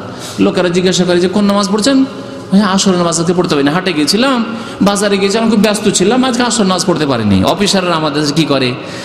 সারাদিন ডিউটি করে আসে আর আসার পরে মাগরে পরে এসে জোর পড়ে আমি কয়েকটা অফিসারকে মাদ্রাসা যখন ছাত্র ছিলাম, তো দেখতাম মসজিদে অনেকক্ষণ ধরে নামাজ পড়ছে। তো এক অফিসারকে দেখতাম বড় দাড়িওয়ালা অফিসার ওই ভূমি সংস্করণ অফিসার ভালো মানুষ, কিন্তু তাকে দেখতাম নামাজ পড়তো, এইরকম। জোহর জোহর নামাজ পড়ছে, আসর মাগরেব এশা সবগুলি পড়ছে এশার নামাজের পরে। আমি এই সময় নামাজ কেন? বলছে অফিসে এত ব্যস্ত থাকি যে জোহর, আসর পড়তে পারি না। জোহর, আসর পড়তে পারে না, সবগুলি এসে ওই এশার এশার সময় নামাজ পড়ছে। এই নামাজ কবুল হবে? নামাজ হবে না। নবী সাল কি বলছেন মানতালাকা তারাকা সলা তালাস যে ব্যক্তি আসরের নামাজ ছেড়ে দিল আসল অক্তে পড়ল, না, তার আমল সব ধ্বংস হয়ে গেল, বোখারি শরীফের হাদিস। বোখারি শরীফের হাদিস। আরেকটি হাদিস শুনেন, আসরের গুরুত্ব সম্পর্কে। বলছেন আবদুল্লাহ বিন ওমর রাজি আল্লাহ তালান হাদিস বর্ণনাকারী। আন্না রাসুল আল্লাহ সাল্লাম কার রাসূলুল্লাহ সাল্লাম এরশাদ করেছেন, আল্লাযী তাফুতুহু সলাতুল আসরে ফাকান্নামা ওতিরা আহলুহু আমা আলুহু হাদিস শুনিয়ে দিলাম আপনাদেরকে। যার আসরের নামাজ ফত হয়ে গেল মানে আসরের নামাজ কাজা হয়ে গেল, ছুটে গেল, মাগরেব হয়ে গেল, সূর্য ডুবে গেল আসর নামাজ পড়তে পারল না। সে ঘুমিয়ে থেকে হোক, আর বাজারে ব্যস্ত থেকে হোক, আর ক্রিকেট দেখায় ব্যস্ত হোক, আর ক্রিকেট খেলায় ব্যস্ত হোক, আর বল খেলায় ব্যস্ত হোক, আর দুনিয়ার যে কোনো কাজেই ব্যস্ত হোক না কেন? জি। ভুলে যাওয়া ছাড়া দুটি ওজোর ইসলামে গ্রহণযোগ্য, কি বলতে পারেন? এক হচ্ছে ভুলে যাও ভুলেই গেছে যে আসর পড়িনি, মনেই হয়নি মাগরে পরে মনে হয়েছে, তাহলে তো আর দোষ নেই, ভুলে গেছে। যখনই স্মরণ হবে তখন নামাজ পড়তে হবে। আর আরেক হচ্ছে যে ইচ্ছা করে ঘুমায়নি, কিন্তু এমন ঘুম চেপেছে, অ্যালার্জি ট্যাবলেট কি এমন ঘুম চেপেছে, তাকে কেউ জাগাবার হয়নি। অ্যালার্ম বেজেছে, জাগতেই পারেনি। এইরকম যদি অনিচ্ছাকৃত ঘুম কখনো হয়, এই দুইটি ক্ষেত্রে আর ইচ্ছা করে রোজ রোজ ঘুমাবে, আর বলবে যে আমার তো ঘুম ভাঙে না। চলবে না চলবে না। যার না আসরের নামাজ ছুটে গেল, তার অবস্থা কি হবে কাল কিয়ামতে? বলছেন নবী সাল্লাম, ফাঁকা আন্নামা ওতেরা আহলুহু আমালহু যেন তার পরিবার এবং ধন সম্পদ সব ধ্বংস হয়ে গেল। তার পরিবার ধ্বংস হয়ে গেল আর তার ধন সম্পদ সব ধ্বংস হয়ে গেল। হাদিসটা বোঝার জন্য একটা উদাহরণ দিই। একজন মানুষ তার পরিবার সহ ফ্লাইটে চেপেছে। সপরিবারে, স্ত্রী, ছেলে, মেয়ে, সবকে নিয়ে। আর বাড়িতে যা টাকা পয়সা ছিল, সব নিয়ে চেপেছে। বাংলাদেশের ন্যাশনালিটি ছিল। সে সেখান থেকে চলে যাবে। তো টাকা পয়সা আর তো বাংলাদেশে রেখে লাভ নেই। আমেরিকা চলে যাচ্ছি, কানাডা, ওখানকার গ্রিন কার্ড পেয়ে গেছি, যাচ্ছি। তো যা টাকা, পয়সা, সোনা, দানা ব্যাংক ব্যালেন্স যা ছিল ডলার সব পকেটে আর সপরিবারে একবারে পুরো ফ্যামিলি সহ ফ্লাইটে চেপেছে। আর আল্লাহ না করে সেই সেই ফ্লাইট রাস্তাতে কি হয়ে গেল? বিমান দুর্ঘটনায় ধ্বংস হয়ে, বিধ্বস্ত হয়ে গেল। ধ্বংস হয়ে গেল। সেও বাঁচলো না, তার স্ত্রী গেল, তার ছেলে মেয়ে সব মারা গেল, ধন, সম্পদ সব কোথায় যে গেল, কিছু পেল? নিজেও পেল না, তার আত্মীয় স্বজন পেল না, কেউ পেল না তার। তাহলে কত বড় খাসা লস চিন্তা করেন এই লোকটির। সব গেল তার সব গেল। নবী করিম বলছেন, যার আসরের নামাজ ছুটে গেল, আসরের নামাজ ছুটে গেল। তার কি হয়ে গেল? ফাঁকা আন্নামা ওতেরা আহলুহু মালুহু। কাল কিয়ামতে হাসরের মাঠে এত আফসুস হবে, আক্ষেপ হবে তার, এত আক্ষেপ হবে যে তার ধন সম্পদ সবকিছু ধ্বংস হয়ে যাওয়ার পরে সে যদি বেঁচে থাকতো, আর যে আফসুস হতো, হা হতো শুধু, হাই কি করলাম? আল্লাহ স্ত্রী হারাইলাম, ছেলে মেয়ে হারাইলাম, যা ধন দৌলত ছিল, সে হয়তো ওখানে আছে। এই উদাহরণটা দিয়ে তাহলে আরও বুঝতে পারে কারণ সে মরে গেল তার কিছু বুঝতে পারছে না, সেও মরে গেছে। কিন্তু সে বেঁচে আছে আমেরিকাতে বসে আছে আর ফ্যামিলিকে ডেকেছে যে তুমি ছেলে মেয়ে টাকা পয়সা সব নিয়ে চলে আসো বাংলাদেশ থেকে। সব বিমান বিধ্বস্ত সব ধ্বংস হয়ে গেল। তাহলে কত তার আফসুস আর আক্ষেপ আর এই দুঃখ কষ্ট কোথায় রাখবে সেই দুঃখ কষ্ট? এইরকম আফসুস হবে তার কেল কাল কেয়ামতে একদিন আসর নামাজ যদি এইভাবে তার ফত হয়ে যায় ছুটে যায় তাহলে কাজা হয়ে যায় তাহলে। নবী করিম সাল্লাহ সাল্লামের হাদিস বোখারি শরীফের হাদিস।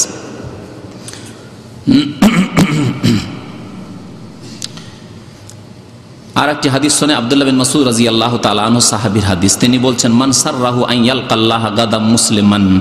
কোনো ব্যক্তি যদি ইচ্ছা করে, তাকে ভালো লাগে যে আল্লাহর সাথে কালকে মুসলমান হয়ে সাক্ষাৎ করব। যদি আপনাদেরকে বলি যে, ভাই, কে আছেন যে আল্লাহর সাথে অমুসলিম হয়ে সাক্ষাৎ করতে চান? কেউ চাইবেন না। যে বেনামাজি সেও বলবে না যে আমি আল্লাহর কাছে অমুসলিম হয়ে সাক্ষাৎ করতে চাই, হিন্দু হয়ে সাক্ষাৎ করতে চাই, আমি ইহুদি, খ্রিস্টান হয়ে সাক্ষাৎ করতে চাই কথা বলবে না। বলবে কি? কেউ বলবে না। বলছেন আব্দুল মসুর রাজি আল্লাহ তালা বলছেন মানসার রাহু যে ভালো মনে করে যে আল্লাহর সাথে সাক্ষাৎ করবে কাল কিয়ামতে, মুসলিমান মুসলিম হয়ে, তাকে কি করতে হবে? ফালিউ হাফেজ আল্লাহ সালাওয়াতে, সে যেন এই পাঁচ চক্ত নামাজের হেফাজত করে। পাঁচ অক্ত নামাজকে সুন্দর করে কায়েম করে হ্যাঁ নাদা বেহিন্না যখনই তার আজান দেওয়া হবে, হাজির হবে নামাজের জন্য। ফাইনাল্লাহ সারা আলী নবী হুকুম সাল্লাহ সোনান আল হুদা। কারণ আল্লাহ ফাকরাবুল তোমাদের নবী মোহাম্মদ সাল্লামের জন্য এই হৃদায়তের আদর্শ দান করেছেন। হেদায়তের আদর্শ দিয়েছেন, অর্থাৎ নামাজ, জামাত সহকার নামাজ। ওয়াইন্নাহুন্নামিন সোনানিল হোদা। আর এই পাঁচ অক্ত নামাজ হচ্ছে হেদায়তের আদর্শ। আন্নাকুম সাল্লাই তোমরা যদি নিজের নিজের ঘরে ঘরে নামাজ পড়ো, মসজিদে নামাজ পড়তে না আসো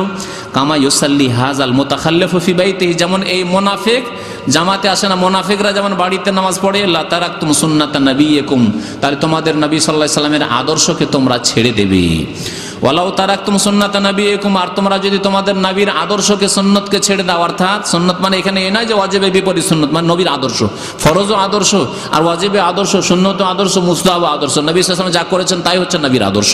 নবীর আদর্শকে যদি মানে জামাত সহকারে নামাজ পড়াকে যদি তোমরা ছেড়ে দাও দালাল তুম তাহলে তোমরা পথভ্রষ্ট গুমরা হয়ে যাবে। তাহলে জামাত ছেড়ে দিয়ে বাড়িতে নামাজ পড়া, ঘরে নামাজ পড়া কি? গুমরাহি, পথভ্রষ্টতা। ওমামিন রাজলিন ইয়াতা তাহার এখন নামাজের ফজিলত বলছেন বলছেন আব্দুল মাসুর রাজি আল্লাহ তাল নবী সাল্লাম থেকে। অমামিন রাজলিন কোনো ব্যক্তি যদি ইয়াতা তাহারও অজু করে, বাড়িতে অজু করল ফাইউ হোসেন ও তহুর আর ভালো করে অজু করল সোম্মাইয়া আহমদ এলা মসজিদিন মিন হাজিল মাসাজিদ কোনো এক মসজিদে নামাজ পড়তে গেল, ইল্লা কাতাব আল্লাহ বেকুল্লে খাতুয়াতিন ইয়াকতুয়া হাসানা প্রত্যেক কদম কদমে আল্লাহ ফাকরাবুল্লা আলমিন এক নেকি লিখবেন। ওয়ারফাও বেহা দ্বারা যার প্রত্যেক কদমে কদমে প্রত্যেক ধাপে একটি করে মর্যাদা উঁচু করবেন। একটি নেকি লিখা হলো, একটি মর্যাদা উঁচু করা হলো। সৈয়ার একটি করে আল্লাহ ফাকরাবুল আলম গুনহা মাফ করবেন। তাহলে যত দূরে মসজিদ, কষ্ট হচ্ছে, পাঁচ মিনিট, সাত মিনিট লাগছে, যত বেশি হেঁটে যাবেন, তত গুনা মাফ হবে তত তত নেকি বাড়বে আর তত বেশি মর্যাদা উঁচু হবে। ওয়ালাকাদর আয়তনা আবদুল্লাহ মাসুদ রাজি আল্লাহ তানা বলছেন যে, আমি দেখেছি আল্লাহ নবী সাল্লামের জামানায় অমায়াত খাল্লাফ আনহা ইল্লা মুনাফেক মালুমুন নেফাক। মুনাফেক ছাড়া কেউ ফজর নামাজ থেকে পিছনে থাকতো না, জামাত থেকে পিছনে থাকতো না। মোনাফিকরাই ফজর, আসরে, ফজর এসাই বা আসরে এরা আসতো না। কিন্তু যারা মমিন মুসলিম, তারা সবাই নামাজ পড়তে আসতো। এমনকি আমি দেখেছি, ওয়ালাকাদ কানার রাজুল ইউতা বেহি ইউহাদা বেইনার রাজুলাইনি হাত্তা ইউকামা ফিসফি আমি অনেক মুসলিম ভাইদেরকে দেখেছি, যারা পায়ে হেঁটে আসতে পারে না, অসুস্থ বিছানায় শুয়েছিল। দুইজনের আত্মীয়, কোনো দুই আত্মীয়র কাঁধে ভর দিয়ে হেলানা লাগিয়ে কাঁধে ভর দিয়ে মসজিদে নিয়ে আসা হইতো তাদেরকে। আর নিয়ে এসে কাতারে বসিয়ে দেওয়া হতো, বসে বসে নামাজ পড়তো।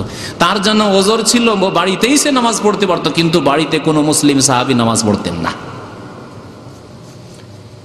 অসুস্থতার অবস্থায় মসজিদে এরকম দুইজনের শরীরে ভর দিয়ে, কাঁধে ভর দিয়ে এসে তারা নামাজ পড়তেন। মুসলিম শরীফের হাদিস। নবী করিম সাল্লাহ আরও বলেছেন, যারা জামাতে নামাজ পড়তে আসে না, তাদের সম্পর্কে আবু দারদা রাজি আল্লাহ তালান বর্ণনা করেছেন।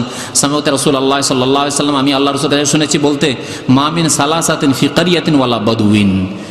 কোন জায়গায় যদি তিনজন ব্যক্তি থাকে, তিনজন মাত্র বেশি না, তিনজন ব্যক্তি, কোনো রুমে আছেন, কোনো গ্রামে আছেন, কোনো শহরে আছেন, কোনো পল্লীতে আছেন, লা তো কামো ফিহিমের সলা কিন্তু সেখানে জামাত সহকারে তারা নামাজ পড়ে না। জামাত সহকারে তারা নামাজ পড়ে না, একা একা নামাজ পড়ে। তিনজন ঘরেই নামাজ পড়ে, মসজিদের ব্যবস্থা নেই। খেয়াল খুশি নামাজ পড়ে, যখন যে আসে নামাজ পড়ে, জামাত করে তারা নামাজ পড়ে না মসজিদে এসে। ইল্লাকাত ইস্তাহওয়াজা আলিহিমুস শয়তান তাহলে শয়তান তাদের ওপর ছেয়ে যাবে। শয়তান তাদেরকে গ্রাস করে নেবে। শয়তানের খপ্পরে তারা পড়ে যাবে ফালাইকা বিল জামা তাই বলছেন নবী সাল্লাম হে মুসলিম, তোমরা জামাত সহকারে নামাজ পড়বে। ফাইন্নামা ইয়াকুলু জেবুল কাসিয়া, কারণ নেকড়ে বাঘ একা যদি কোনো বকরি ছাগল থাকে দূরে বকরির পাল থেকে দূরে যদি কোনো বকরি পায়, ছাগল পায়, তাহলে সেই বকরি ছাগলকে নেকড়ে বাঘে খায়। আর বকরির পালের মধ্যে নেকড়ে বাঘ আক্রমণ করে কোনোদিন বকরি ধরে না। এই কথাটি নবী করিম সাল্লাম শিখিয়েছেন। বুঝতে পারলেন না পারলেন না? কি বুঝতে পারলেন? যদি একসাথে একত্রিত বকরির পাল থাকে, পঁচিশ, পঞ্চাশ, একশো, দুশোটা বকরি থাকে, তাহলে সেখানে সাহস করে না নেকড়ে বাঘ ঢুকতে। কারণ নেকড়ে বাঘের ভয় খুব বেশি। এক তো রাখালকে ভয় করে, আর বকরির পালে জানি না কি আছে, না আছে, ও সাহস করে ঢুকবে না। কিন্তু একটা বকরি যদি দূরে চলে যায় চড়ার জন্য, আর একা দেখতে পেয়েছে, তখন ওকে ধরে নেয়। ওই রকমই হে মুসলিম, তুমি জামাত সহকারে নামাজ পড়বে মুসলমানদের জামাতে, তাহলে শয়তানের খপ্পরে পড়বে না, শয়তান তোমাকে গুমরা করতে পারবে না। আর জামাতে যদি নামাজ না পড়ো, মসজিদ আছে, জামাতে লোকেরা নামাজ পড়ছে তুমি একা একা যদি নামাজ পড়ো, তো ওই একা বকরির মতো তোমার অবস্থা। একা বকরিকে যেমন নেকড়ে বাগে খায়, তুমি একা নামাজিকে শয়তান গুমরা করে দিয়ে পথভ্রষ্ট করে দিবে, তোমার দ্বারা পাপ করাবে।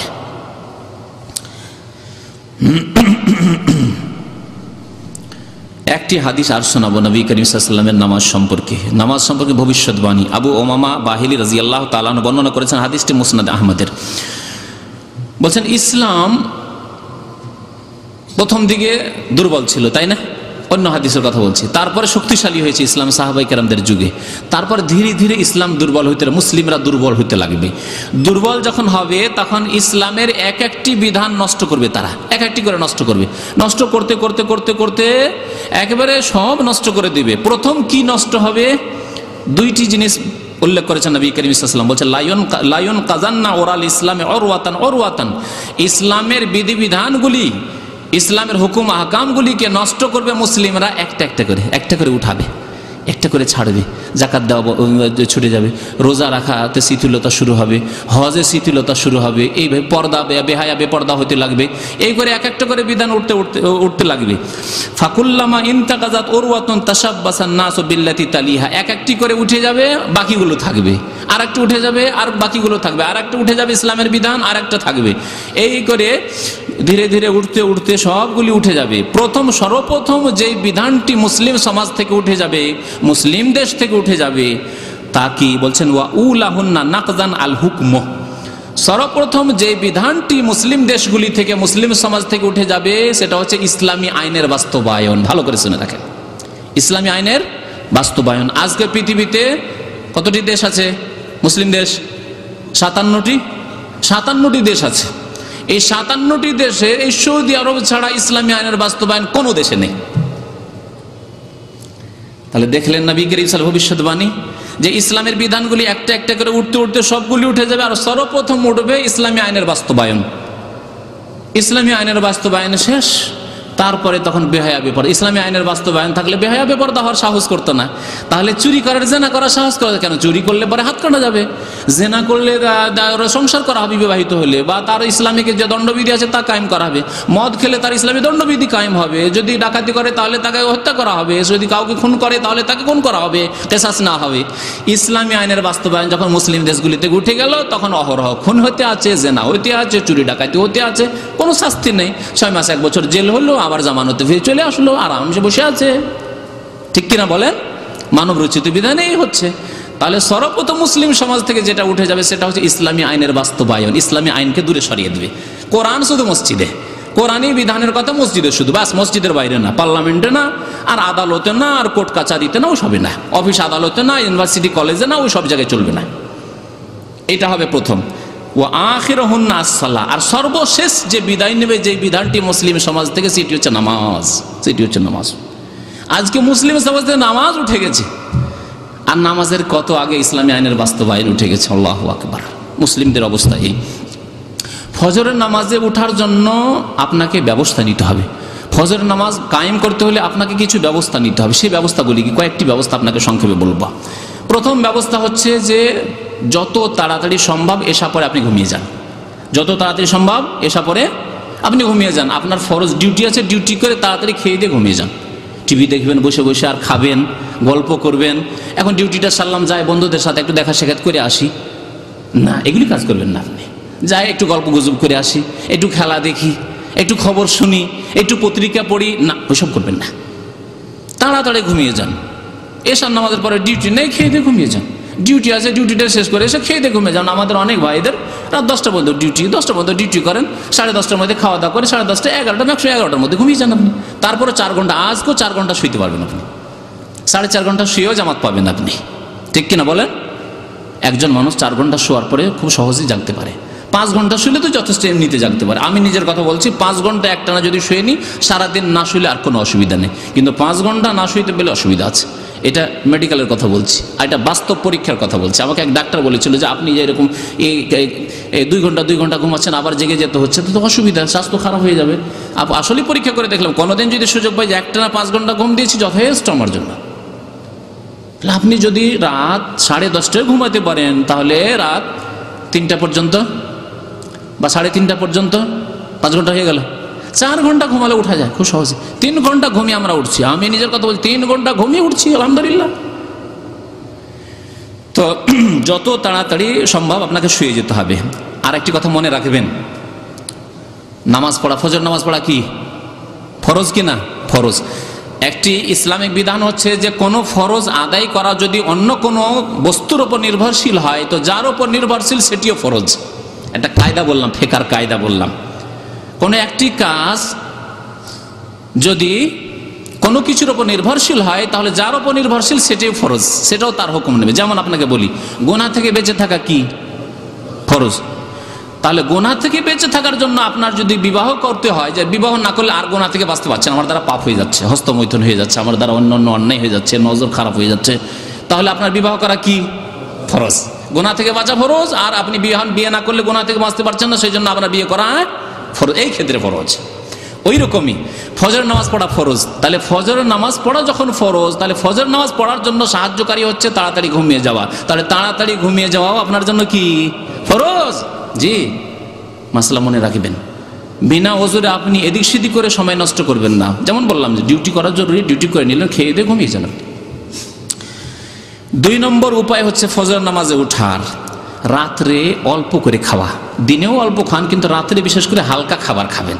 বেশি করে খেলে ওলামারা বলেছেন, মান আকালা কাশিরান, কাসিরান ফাঁসারে বা কাসিরান যে ব্যক্তি বেশি খাবে ওটা হজম করার জন্য বেশি পানি পান করতে হবে একে তো খেয়ে দিয়ে পেট ভারী তারপরে পানির জায়গা নিয়ে আবার ওভারলোড করে পানি চাপাইতে হবে পেটে আর পানি দিলেন তারপর তখন আর নড়াচড়া করতে পারেন না তখন শুইতে হবে নামা কাসিরান অল্প শুয়ে হবে না কেন এই যে এত পানি আছে পেটে আর এত যে- খানা এই নিয়ে তো হালকা ঘুম না খুব ভারী ঘুম আসবে ফান্নামা কাসিরান, খুব বেশি বেশি ঘুমাবেন ফাঁকাসেরা কাসিরান, বেশি বেশি ক্ষতিগ্রস্ত হবেন আপনি। আপনার ফজর জামাত চলবে।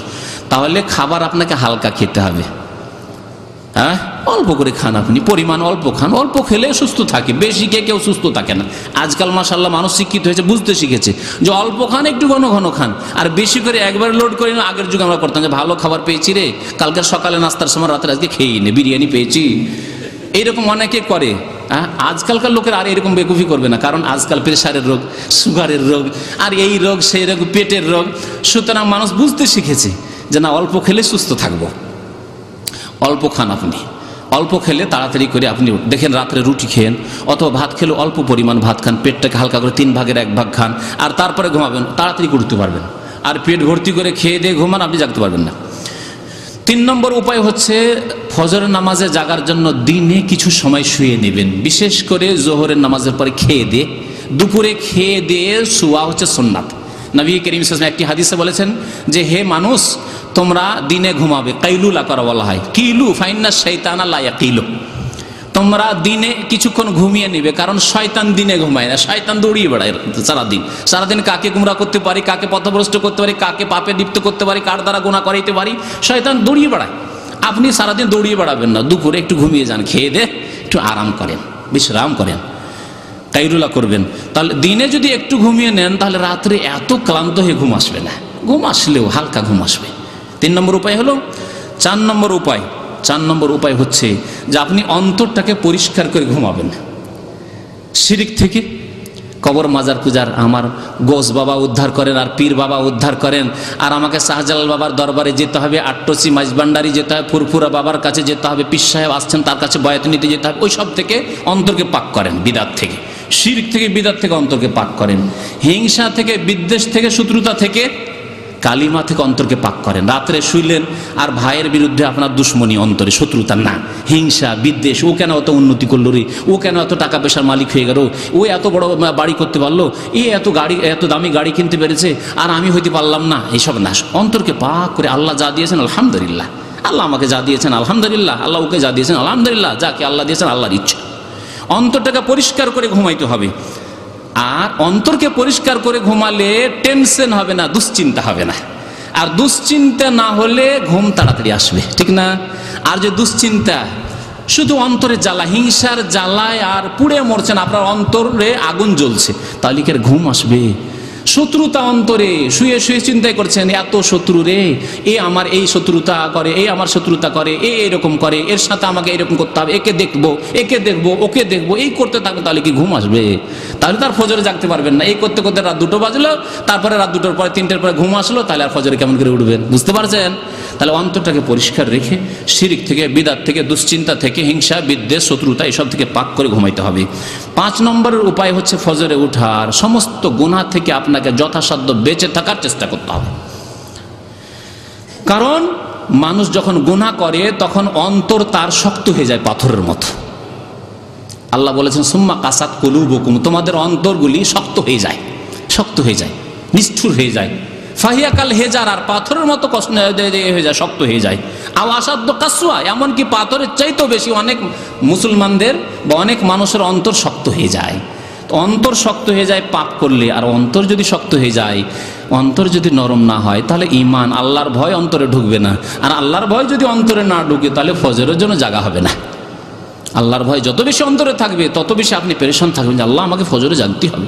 ফজরটা জামাতে আমাকে পড়তেই হবে। আল্লাহর কাছে আমাকে প্রথম জবাব দিতেই হবে গিয়ে নামাজের।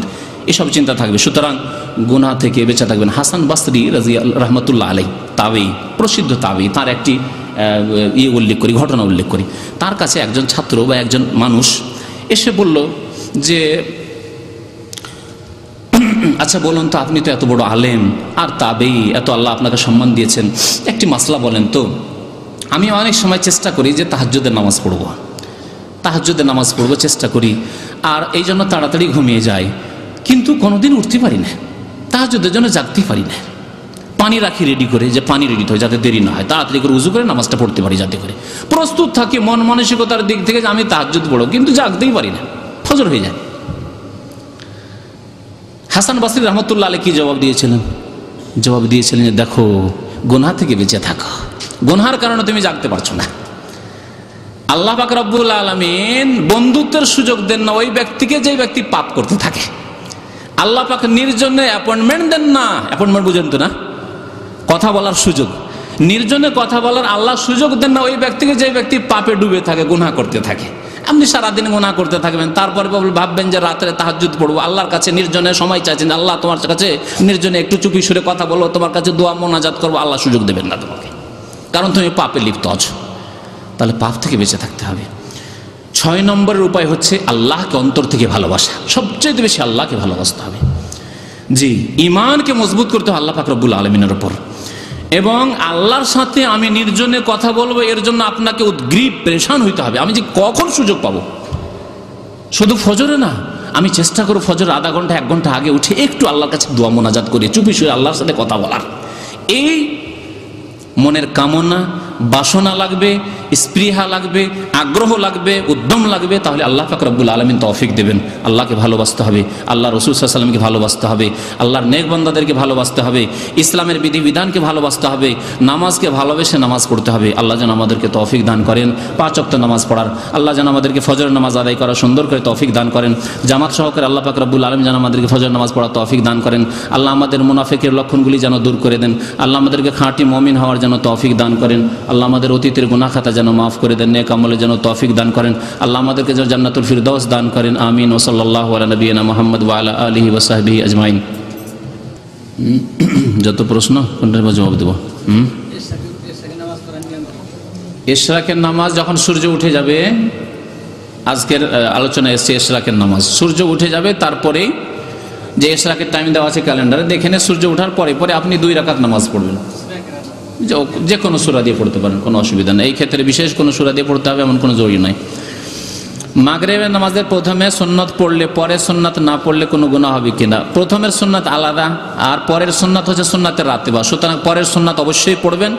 তবে যদি কোনো অজর থাকে, অসুবিধা থাকে, তাড়াতাড়ি থাকে, তাহলে না পড়লে অসুবিধা নেই। কিন্তু কথা হচ্ছে যে, আপনি সবসময় ছাড়বেন না। যথাসাধ্য, এই দিনে রাত্রের বারো রাকাত সুন্নত বা কমের পক্ষে দশ টাকার সুন্নত পড়ার চেষ্টা করবেন।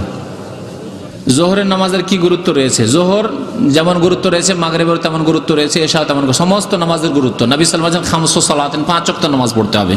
সুতরাং পাঁচ অক্ত নামাজ জামাত সহকারে পড়তে হবে পুরুষদেরকে। জি। বেনামাজি কোন কোনোদিন জান্নাতে যাবে, শিরিক করে না। শিরিক করে না, কিন্তু বেনামাজি। সহি হাদিস এবং কোরআনের দ্বারা প্রমাণিত যে বেনামাজি জান্নাতে যেতে পারবে না। আমরা কাউকে জান্নাত জাহান নামে ঠিকা নিনি যে কাউকে জান্নাতে ভরবো আর কাউকে জান্নাতে বের করব আর জাহান নামে ঢুকাবো, এটা আমরা দায়িত্ব নিনি কিন্তু কোরআন এবং হাদিস দ্বারা প্রমাণিত যে বেনামাজি জান্নাতে যেতে পারবে না। কারণ আল্লাহ পাকের উপরে কোরআনে বলছেন যে জান্নাতিরা জিজ্ঞাসা করবে জাহান্নামীদেরকে যে জাহান্নামে কেন আসলে? মা সাল্লাহ ফি সাকার সাকার নামক জাহান্নামে কেন? তখন প্রথম উত্তর হবে, লাম নাকুম মিনাল মুসাল্লিন, আমরা নামাজ পড়তাম না। আমরা নামাজ পড়তাম না। তাহলে বোঝা গেল যে বেনামাজি জান্নাতে যাবে না। আল্লাহ আলম। এক ভাই লিখেছেন, আমি ফজর নামাজ এবং আসর নামাজ মসজিদে গিয়ে পড়তে পারি না। আমার রুম থেকে মসজিদ যেতে পঞ্চাশ মিনিট। পঞ্চাশ মিনিট যদি হয় তো ঠিক আছে, কিন্তু পাঁচ মিনিট যদি হয় তো মুশকিল। কেন অনেকে এরকম প্রশ্ন হয় ভাই, পাঁচ মিনিট বা আট মিনিট লাগবে? না, চলবে না। হ্যাঁ নবী সাল বলছেন, আজান শুনতে পাও কিনা? যদি আজান শুনতে পাও তো যাও। আজান মোটামুটি মুখে আজান দিলে এক কিলোমিটার, এক দেড় কিলোমিটার যাওয়া যায়। তো কথা হচ্ছে যে আপনাকে যথাসাধ্য মসজিদে যাওয়ার চেষ্টা করতে হবে। কিন্তু কিন্তু আধা ঘণ্টা পঞ্চাশ মিনিট লাগলে আপনাকে মসজিদে যাওয়ার দরকার নেই। সেই ক্ষেত্রে আপনি বাসায় নামাজ পড়বেন। জি। কেমন দূরত্বে মসজিদ থাকলে জামাতে নামাজ ওয়াজিব? হ্যাঁ যেমন বল- বললাম হালতাস মোহন নেদাবিসাল্লাম নবী সাল্লাম জিজ্ঞাসা করেছেন যে, তুমি কি আজান শুনতে পাও? আজানও যদি শুনতে পান, মুখে আজান দিলে বিনা মাইকে তাহলে যেতে হবে। জি। যেমন বললাম যে মোটামুটি এক কিলোমিটার কমের পক্ষে। জি। আমাদের দেশের আলেমগণ বলেন, বক্তা যখন আওয়াজ ওয়াজ করেন, তখন বক্তার চেহারা মোবারকের দিকে তাকিয়ে থাকলে নাকি সাগিরা গুনা মাফ হয়ে যায়। এগুলি আমাদের দেশের পীরদের কথা। হ্যাঁ? যুক্তিবাদী শুধু এইটি কথা, এটা তো ছোটই কথা হলো তার। সে তো কবর মাজার পূজা করাচ্ছে। জি? তার বক্তব্যে আমি শুনেছি, আমি চেক করেছিলাম মোদিন ইউনিভার্সিটিতে, বেশ কিছু ক্যাসেট দিয়েছিল চেক করার জন্য সাইদির আর এই যুক্তিবাদীর। তো যুক্তিবাদী সম্পর্কে আমার যেটা অভিমত, সেটা হচ্ছে সে ডাহা মুশরিকি কথাবার্তা বলে, বড় শির করায়। সুতরাং যুক্তিবাদী বাংলাদেশের মুসলিমরা কেন তার নাম বলেছে? আল্লাহর কাছে তারা জবাব দেবে। হ্যাঁ? শিরিকবাদী। তার নাম রাখেন শিরিকবাদী। আর সাইদির কাছে বেশ কিছু বিদাত দেখেছিলাম। ডাহা শির তো পাইনি, কিন্তু বেশ কিছু বিদাত দেখেছিলাম। হ্যাঁ? কে কারও মনে কষ্ট লাগে, কষ্ট নেবেন না। হাকিকাতে এটা বললাম। আর যুক্তিবাদীর কাছে এটা ডাহা ডাহা বড় বড় শির্ক। জি। কবর মাজার পূজার শির পর্যন্ত আছে। জি। হ্যাঁ হ্যাঁ বুঝতে পেরেছি। যে- যে সব নবী সাল্লাহ সাল্লামকে একবার জিজ্ঞাসা করেছে সাহাবারা যে আচ্ছা যদি দেখা যায় যে লেট করে নামাজ পড়ছে, বিলম্ব করে শেষ অক্তে নামাজ পড়ছে ইমামরা, তাহলে আমরা কি করব? নবী সাল বলেছেন, তোমরা প্রথম অক্তে নামাজ পড়ে নাও। আউ্য়াল অক্ত বাড়িতে নামাজ পড়ে নেন।